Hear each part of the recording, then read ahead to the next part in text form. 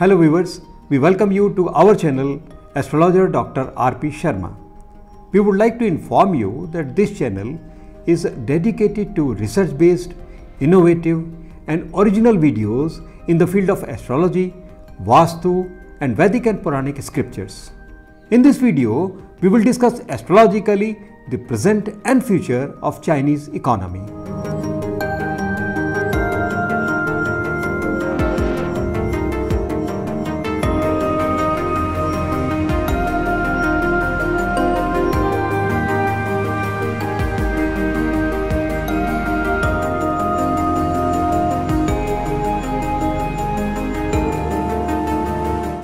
International Monetary Fund IMF says China's economic decline is likely to continue over the next 4 years as the world's second largest economy deals with a range of challenges from a rapidly aging population, higher unemployment and the property crisis.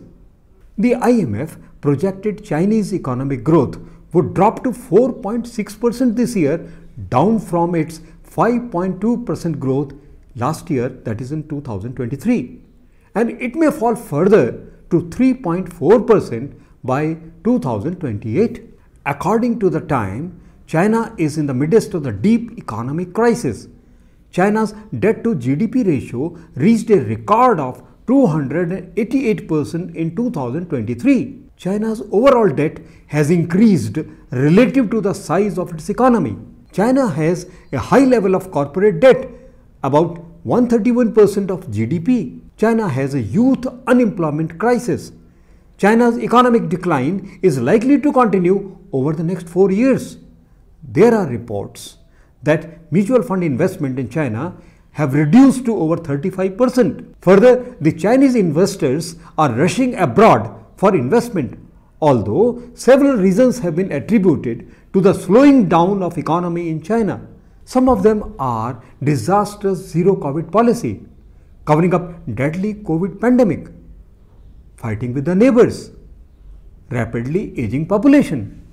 Now let us examine the reasons for slowing down of the Chinese economy in the horoscope of China and analyze it through Vedic astrology principles and rules. But before we proceed further, please subscribe to our YouTube channel and press the bell icon so that you get timely notification of our videos. Dear viewers, the horoscope of China is displayed on your screen.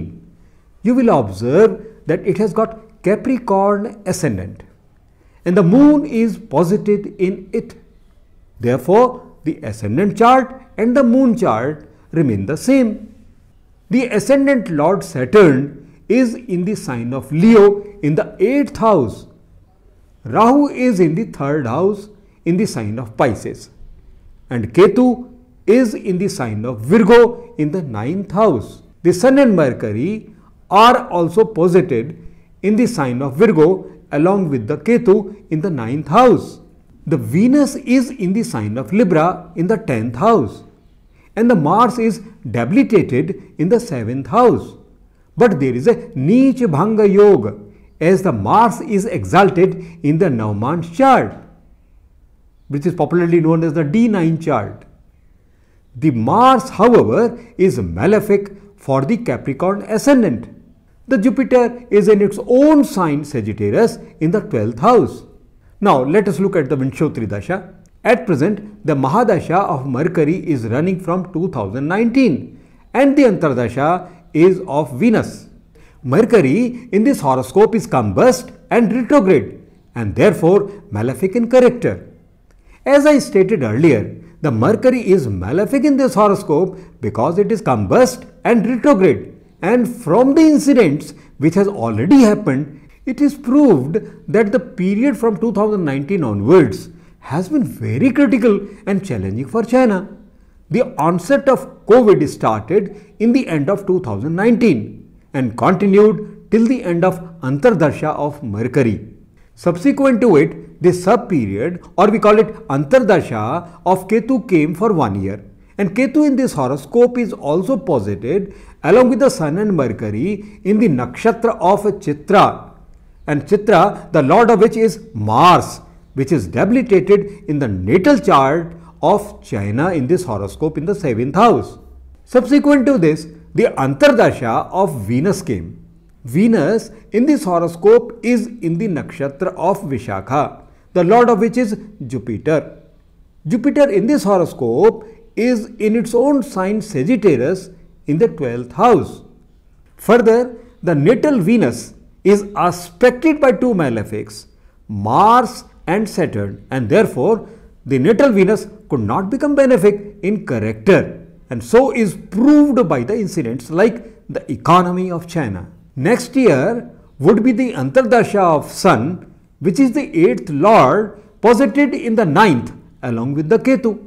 Now you may have a look at the current transit of the planets in the horoscope which is displayed on your screen. It is observed that Rahu in transit is passing over the natal Rahu and similarly the transiting Ketu is passing over the natal Ketu exactly at the same degrees of 23 which is very very significant and indicates the serious challenges and transformation in the matters related to the houses and signs they are transiting. Currently, Saturn is transiting in Aquarius and Mars in Capricorn. As per the Vedic astrology, the finances and economy are seen from the second house and the 11th house. The speculative returns on investments are seen from the fifth house and the return on the assets received from the legacy are seen from the eighth house. The second, fifth, eighth and eleventh houses are the significators for the economy of a country. Interestingly, all these houses are in Kendra to each other. Secondly, all these signs are fixed signs. In Vedic astrology, the second house and the houses in Kendra to second house are called Panfar houses. And as I said earlier, they are responsible for economy and finances. Now let us look at these houses and see how the current transit is affecting these four houses. It is observed that the second house has the transiting Saturn in the sign of Aquarius this transiting Saturn is in juxtaposition to the natal Saturn in the 8th house. The natal Saturn in the 8th house in the sign of Leo is aspected by both transiting malefic planets namely Saturn and Mars. The 11th house is aspected by transiting Rahu and Saturn both malefic planets. The 5th house is in the sign of Taurus which is aspected by transiting Ketu. The ascendant and the natal moon are also aspected by the transiting Ketu. Thus we observe that all the Panfar houses are either having transiting malefics in them or aspected by the transiting malefics, thus seriously affecting the finances and economy of the country.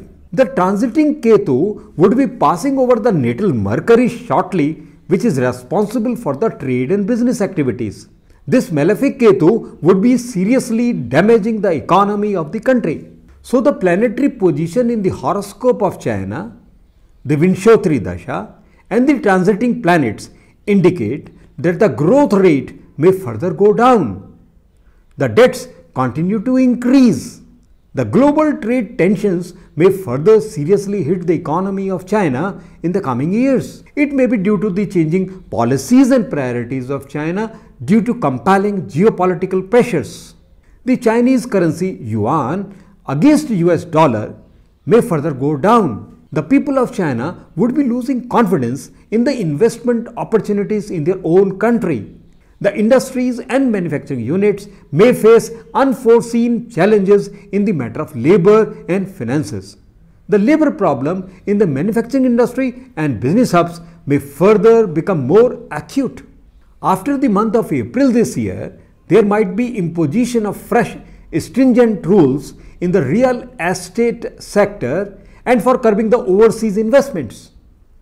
The declining trends of Chinese economy may continue up till the year 2032 when the Antardasha of Jupiter in the Mahadasha of Mercury ends. Dear viewers, if you have liked our video, then please share this video and subscribe to our YouTube channel to get interesting and informative videos in future and press the bell icon so that you do not miss any notification. Thank you very much for watching this video. Om Namah Shivaya.